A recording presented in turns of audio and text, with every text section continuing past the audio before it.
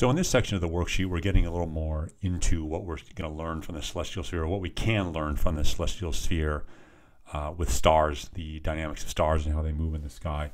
So the first thing you see going on in this one here, which is new, is we have the rotation sort of plugged in here. So we'd imagine this whole blanket around the Earth called the celestial sphere sort of coming around and rotating around this way. I've showed you some animations and things, but now you're sort of seeing that here.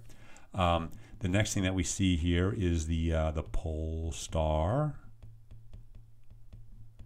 That remains fixed right there in the sky, doesn't move right there, stays there.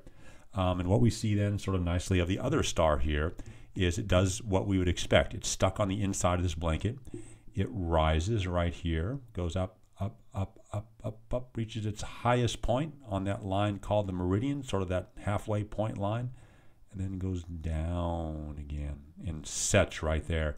Spends a little bit of time below the horizon where we can't see it, and then comes up, up, up, up, up again and goes down. And that's sort of the the cycle of that star here. So once again, um, if you happen to be following this here, we have the rising of the star right there.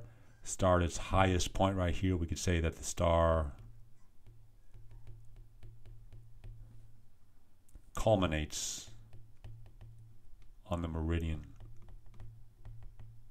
that's sort of what the star would do, highest point right there on the meridian. Then, of course, as we saw, as we see it, no, it then comes back down again, as I'd already drew out. And right here, the stars are going to set as it continues in its motion. Bloops, continues in its motion there below the horizon, sets in there.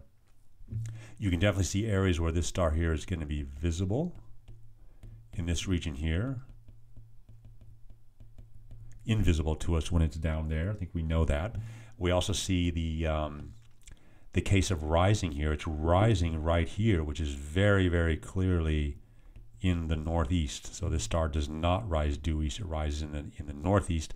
It goes up here, then when it comes down, it sets over here in the northwest.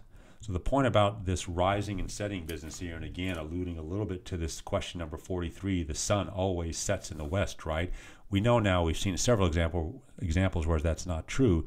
But the thing that I always sort of like about this is the rising always has the eastern character in it. It rises east-ish, but not due east. In this case here, it's northeast.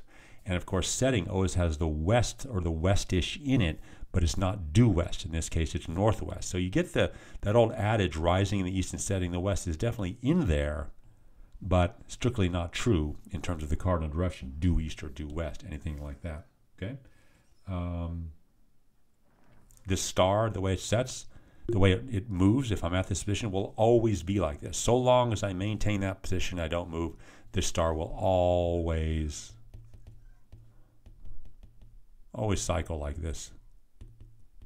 In other words, as I watch it, it'll never end up suddenly start rising over here. It'll always reach exactly the highest point. It'll always set there and rise there and that sort of thing. Again, but it's as long as I remain in my position here. So one of the assumptions here for my celestial model here is I am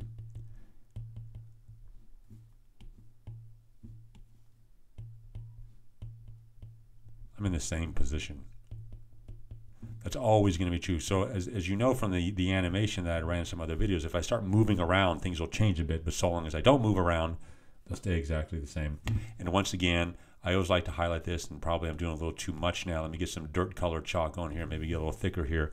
We definitely see, that's way too thick. Oh gosh. We definitely see the effect of that horizon here, don't we? So here's where sort of the dirt ends right here. And that horizon just plays a huge role in terms of what we see, sets sort of that edge of rising and setting of the star and plays always role the role as always tells us when we can see the star when we can't see the star and so on. Okay, one more video for the last page of this.